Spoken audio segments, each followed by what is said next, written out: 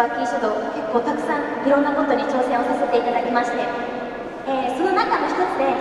児童虐待なくしたいという活動をスタートしまして、えー昨年の12月にですね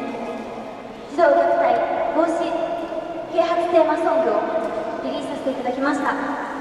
そのアルバムの中から1曲お届けしたいと思います「